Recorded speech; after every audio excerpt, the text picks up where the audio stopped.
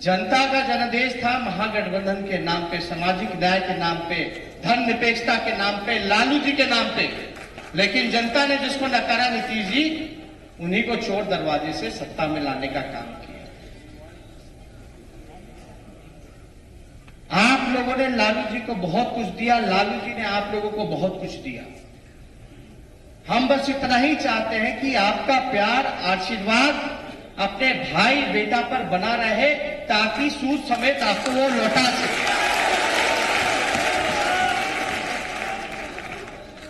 और ये बहुजनों को पिछड़े अति पिछड़े दलित, महादलित लोगों को मिलकर के तय करना होगा कि देश की राजनीति की जो गति है उसको धार में कैसे लाने का काम करे उसको तेज कैसे करने का नाम, काम कैसे करे और देश की दशा और दिशा बदलने में आप लोगों की योगदान होनी चाहिए। उसलिए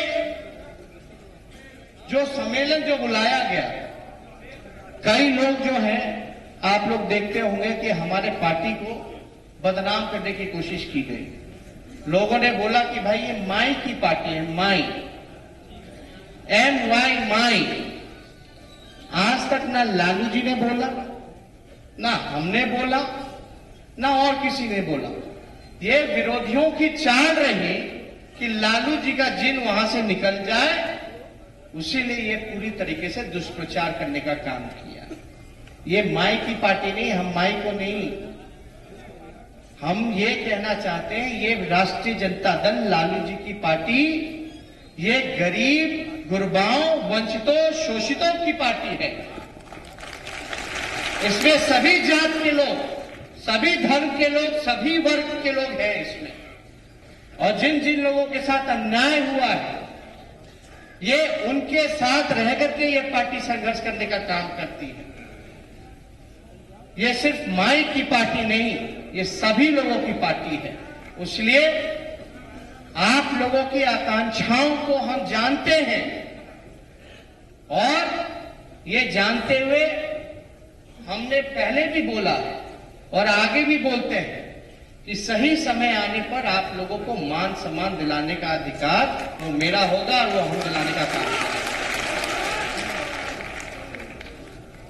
देश भर में आप लोग देखते होंगे माहौल जो बनता जा रहा है कि आरक्षण को धीरे धीरे धीरे धीरे समाप्त कर दिया जा रहा है। अगर आप लोगों का आशीर्वाद होगा, अगर हमारी सरकार बनती है तो तमिलनाडु के तर्ज पे 69 परसेंट जो आरक्षण का, वो वादा को हम लोग पूरा करने का काम और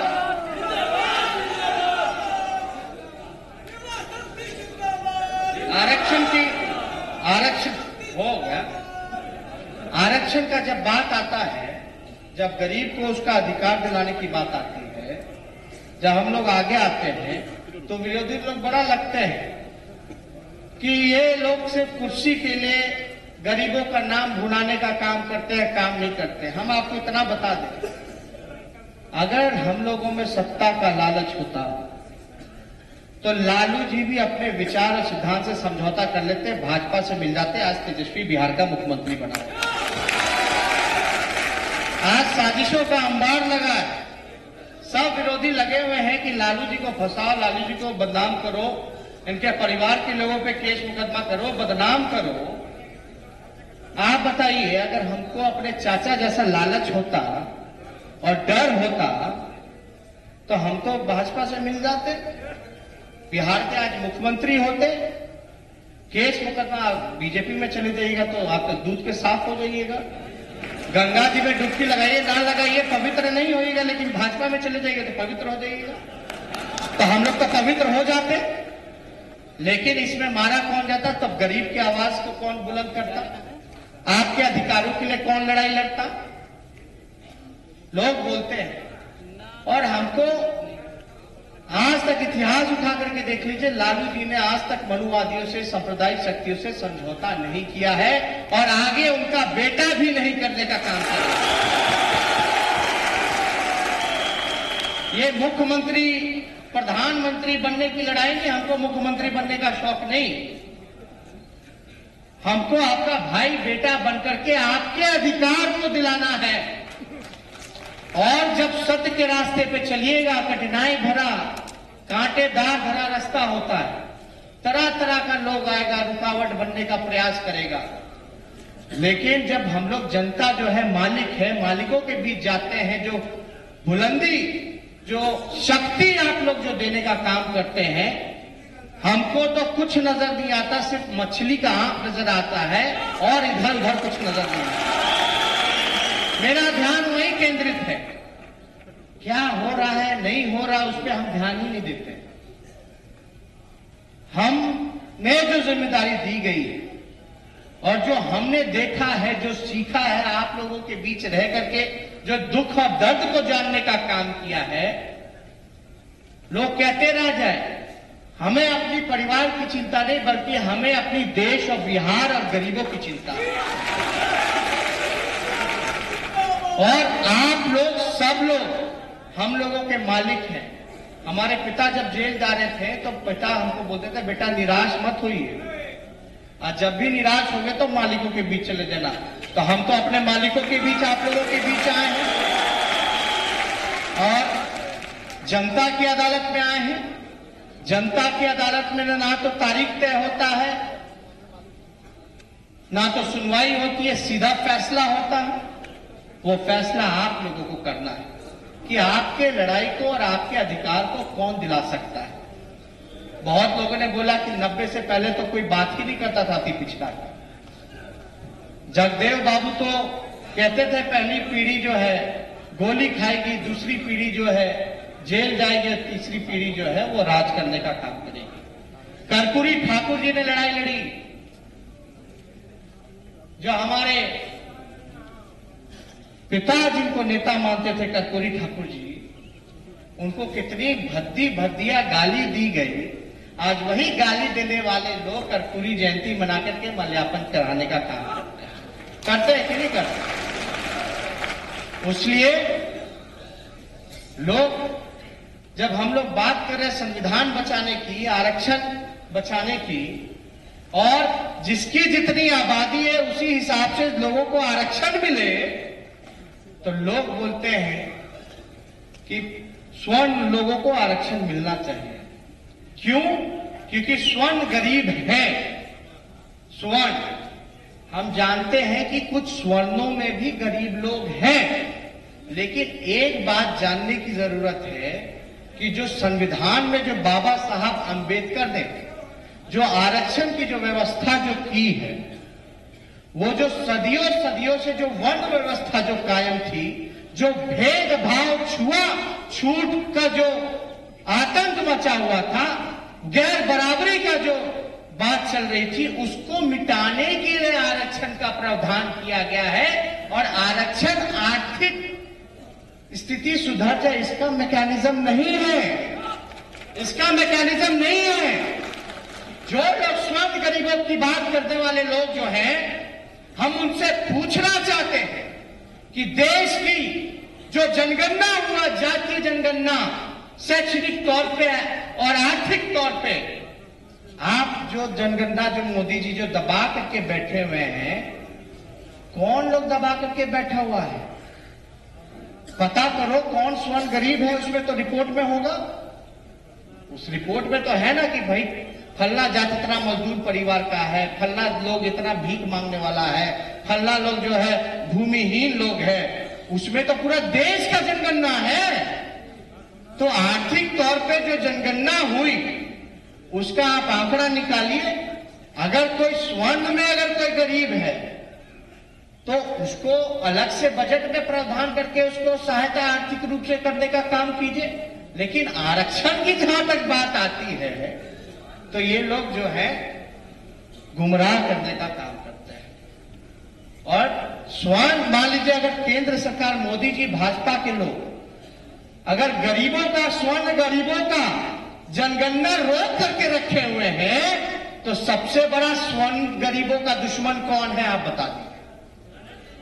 कौन है? ये तो बताना पड़ेगा। तो ये तो बड़ा चलाक है लोग। लोग राम की बात, राम जी को मानने वाला नहीं, लोग नत्थू राम को मानते हैं नथु ना लोग गुमराह बताइए, दंगा फसाद से कुछ लेना देना है। दंगा फसाद होता है तो गरीब मारा जाता है, नौजवान मारा जाता है। मारा जाता है कि नहीं मारा जाता, नौजवान और गरीब? पिछड़े हैं अति पिछड़े हैं, दलित हैं, यही मारे जाते हैं। और कोई मारा तो नहीं जाता। और मान लीजिए जहाँ शांति नहीं रहेगी, जहाँ अमन चैन नहीं रहेगा। आज मूल चीज़ों पे हम लोग बात ना करके आपस में भाई भाई लड़ते रहे तो देश का विकास कैसे होगा? आज किसान पे चर्चा नहीं हो रही। आज मजदूर पे चर्चा नहीं हो रही। आज नौजवानों को रोज़गार दिलाने पे चर्चा नहीं हो रही। आज शिक्षा और स्वास्थ्य पे चर्चा नहीं हो रही। चर्चा होती है तो किस पे? पाकिस्तान और कश्मीर में। मंदिर, मस्जिद, हिंदू, मुसलमान। गाय पे और क्या चीज़ पे चर्चा होती है। तो किस तरीके से देखिए, आप सब लोग ध्यान से सुनिए, जानिए गंभीर मसला। आप लोगों का ध्यान जो है दंगा फसाद में लगा देगा और चुपके से जो है आरक्षण समाप्त कर देगा। एस सी एक्ट खत्म लगभग कराने में जिनका योगदान रहा, सरकार ने जो ढीला पक्ष रखा तो बड़े चलाकी से, चतुराई से हुआ। ये तो धीरे धीरे जो है आरएसएस, जो संगठन है, उसके एजेंडा को इन लोग लागू करना चाहता है। और नीतीश जी, हमारे चचा जी, कहा खेल रहे हैं? उनको इन सब चीज़ से मतलब नहीं है। उनको कुछ लेना देना नहीं। हमारे चाचा को केवल मतलब कुर्सी से है। कुर्सी पे वो बने रहे हैं। बस मुख्यमंत्री कैसे बने रहे हैं? ऐसा कोई सगा नहीं जिसको हमारे चाचा ने ठगा नहीं। हर घर का पानी वो पी लेने का काम किए। वो किसी के नहीं है। उसलिए बड़े चालाकी से तरह तरह का बात चलेगा, आएगा। अभी तो देख ही रहे चुनाव जैसे जैसे करीब आएगा, फिर मंदिर, फिर मस्जिद। अरे भाई, गरीब को अधिकार दिलाने की बात करो ना, किसान खुदकुशी कर रहा है। आप किसान को कर्ज माफ़ी नहीं कर रहे, लेकिन पूंजीपतियों को, कुछ घरानों को, हज़ारों करोड़ का माफ़ी आप करने का काम कर रहे हैं। अगर इसके लिए हम सवाल उठाएँ नौजवानों के लिए, हम बोलते हैं, मोदी जी, रोज़गार दीजिए। तो मोदी जी बोलते हैं, नौजवान सब पकौड़ा बेचेंगे अरे, हम तो पकौड़ा बेचने वाले का सम्मान करते हैं, भूजा बेचने वाले का सम्मान करते हैं, पान, गुमटी रेडी फल सब्ज़ी बेचने वाले सबका सम्मान करते हैं। आर्थिक व्यवस्था ठीक नहीं रहेगी, बाल, घर में बाल बच्चा भूखे सोएगा तो हम तो पकौड़ा बेच करके भी बाल बच्चों का पेट भरने के लिए तैयार है। लेकिन पकौड़ा बेचने के लिए भी तो ठेला चाहिए, सामग्री चाहिए, जगह चाहिए। तो मोदी जी तो पंद्रह पंद्रह लाख का वादा किए थे एक दो लाख रुपया बोनी करा ले लोग पकौड़े का दुकान खोल लेगा।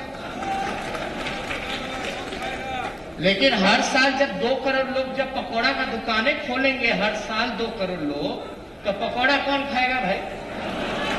पकौड़ा खाएगा नहीं तो बिकेगा नहीं। बिकेगा नहीं तो बाल बच्चे का पेट नहीं भरेगा। तो किसको उल्लू बना रहे हैं? तो उसमें बिहार पूरा देश का जनता आप कहाँ है? बिहार को तो ठग लिया। बिहार के वोट से, यूपी के वोट से, यूपी से प्रधानमंत्री बनारस से जीते बिहार ने इकतीस, बत्तीस सीट दिया। और जब बिहारी भाई, जब गुजरात जाते हैं, जब पिटाते हैं तो प्रधानमंत्री चुप रहते हैं।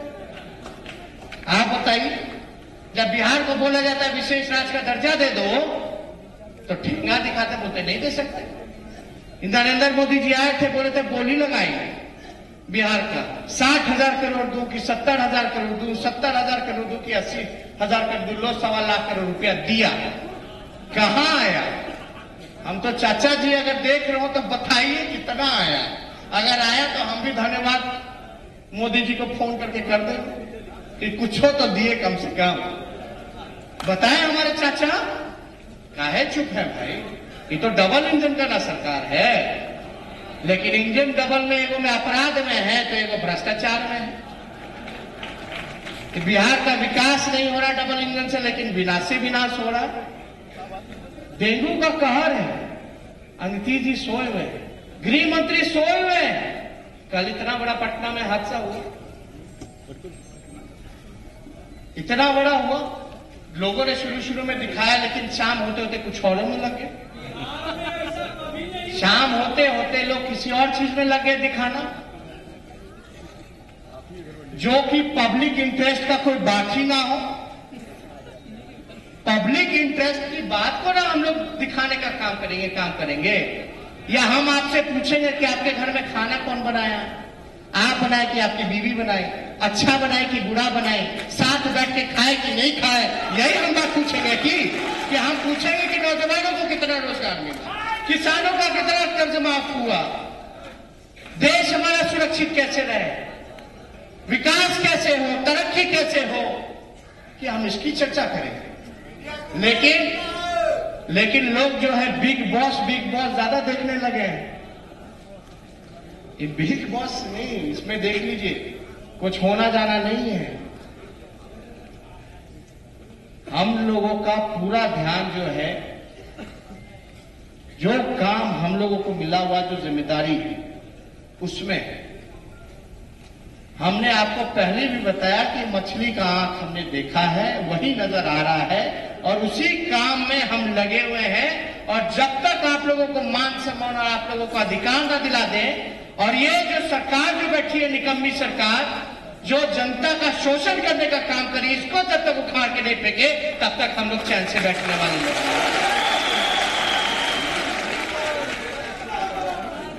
इसलिए आप सब लोगों को, कौन क्या कर रहा है, नहीं कर रहा, लेकिन जो बात है आप लोग उस पर ध्यान देने का काम कीजिए। इधर उधर दिमाग हम लोगों को नहीं दौड़ाना है। आप देखिए कि बिहार की स्थिति क्या है। आज ब्लॉक लेवल से लेके हेडक्वार्टर तक घूसखोरी है कि नहीं है? है ना? ये घूसखोरी समझिए कि आरसीपी टैक्स ये आरसीपी टैक्स लगता है। स्पेशल टैक्स है बिहार में आरसीपी टैक्स इसलिए नीतीश जी तो शराबबंदी किए, लेकिन आप लोग बताइए, शराब बंद है? चालू है ना? पूरा। फ़र्क क्या है? फ़र्क है कि दो सौ रुपया का बोतल पंद्रह सौ में बिक रहा है। दो सौ रुपया और पंद्रह सौ में डिफरेंस हो जाता है, अंतर हो जाता है तेरह सौ का। तो तेरह सौ का जो कमाई है, वो सीधे आरसीपी टैक्स में जाता है, वसूली में जाता है, वसूली। रंगदारी होता है, अधिकारियों का इसी से तबादला पोस्टिंग होता है। और दूसरा नहीं होता है तो जो माफिया लोग जो दूसरे राज्य से जो शराब जो भिजवाने का काम कर रहे हैं, उनसे पार्टी में चंदा लेने का काम किया जा रहा है। समझिए बात को। ये तो होम डिलीवरी करा दिया, बात करता कि शराब बंदी हो। हाँ? अब बिचवाने वाला लोग पकड़ाता उन्हीं के पार्टी का। हमारा चाचा जो कुछ ट्रेजेडी वाला जो लोग था